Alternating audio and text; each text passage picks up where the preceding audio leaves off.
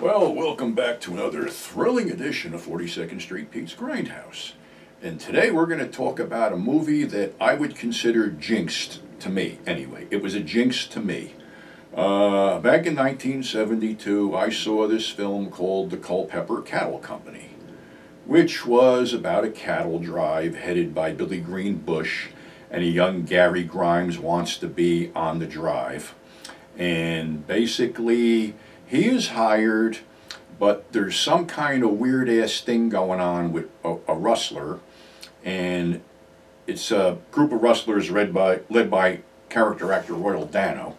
And uh, basically, what happens is there's a shootout to get the cattle back, and Culpepper loses four men. So he sends young Gary out to recruit some old friends of his, Russ Caldwell. He tells him to go to this bar. Well, on the way to the bar, or whatever he was going, he stops to answer nature's call, and while he's doing that, two trappers show up and take everything he has. Of course, he doesn't even put up a fight. So he goes to the bar to find Russ Caldwell, played by Geoffrey Lewis, with his four friends, played by Luke Askew, Bo Hopkins, and Wayne Sutherlin. So he tells them that uh, basically Culpepper needs them and they're paying whatever and to come back. Well, on the way back, they come across the two trappers, one who is Paul Harper of the Wild Bunch fame, he was one of the bounty hunters, and they kill him and give Gary back his shit. So they go in, and there's obviously history between uh, Russ and Culpepper, and he wants a little bit more than a dollar a day, but that's all he's going to get. So uh, Gary has to has to play uh, watchman at night to watch the cattle company, and he's approached by this guy, a bandit, a one-eyed bandit played by Gregory Sierra. And of course he's beat up, and of course Culpepper's pissed off, and they decide to go and find the, the, the rustlers. So they go to this bar, and they're not so sure until Gary sees the one-eyed guy in the back. Um, he's told to keep his gun on the bartender, who is a little bit hinky. Anyway, Russ and company blow all those people away, and Gary blows the bartender away who made a grab for the shotgun. So they continue this thing, and they wind up on this grazeland owned by this crazy fucker who I forget his name is, who basically wants them off, um, takes their guns, and runs them out of town. Of course, Russ and company are pretty pissed off by that, and he keeps asking Frank to do something, but Frank ain't going to do something. So they keep on going and they run into a bunch of holy rollers led by uh, another character actor, Anthony James. And they're going to squat on this land until this asshole comes up and basically tells them that if they're not gone, you know, in 24 hours, he's going to come back and kill them all. So Gary decides to stay with the religious folk and defend them. So the other four are halfway away when they decide, well, fuck it, like the Magnificent Seven deal, nobody takes our guns. So they grab guns from the other guys and go back there and prepare to make a stand.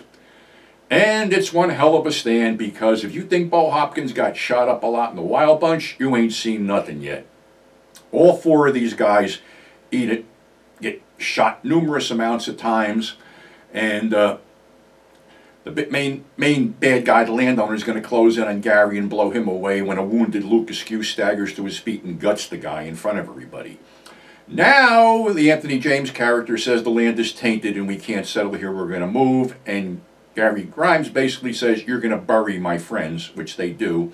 And that leads to another downbeat 70s ending, as that's where the fade out is. The reason I say this is a jinxed film for me is I bought a 16 millimeter print off of eBay. And when I went to run it, all the fucking violence was cut out. So, of course, I sent it back. Somebody else put up another used print of it up there. Well, I got that one. I never had a chance to run it because when I popped it open, I got the irresistible smell of vinegar syndrome, which means the film's deteriorating. And I had a big argument with the person who sold that to me because he basically was going to accuse me of switching fucking films, which I didn't. And finally, I got him to take that back. Well, I had a sealed DVD of Culpepper Cattle Company on my shelf, so I decided, well, fuck it all, I'm going to watch this one. And I put it in, and much to my chagrin, it didn't play. Only lately, because, you know, one of my Valentine's Day presents was the Culpepper Cattle Company uh, DVD for my girl Lorena, and I got to watch it and got to see all this good shit again. still holds up. It's still a good movie. It, you know, it might be a little bit too slow for a lot of people, but the end really kicks ass. So uh, definitely worth checking out the Culpepper Cattle Company from 1972 with a great, great cast of character actors in it. So that's our show for today. Thanks for subscribing. Thanks for tuning in. And uh, big shout out to the guys at Fuse, the Fusebox Show out there because they're still uh, helping me along with the website and stuff. And another big thank you to all the people who have purchased uh, latest issue of Grindhouse Resurrection. Uh, we all appreciate that. And uh, like I said, you know, we're going to sit down after a while and figure out if we can keep this going or not. So until next time, stay safe and catch you on the flip side.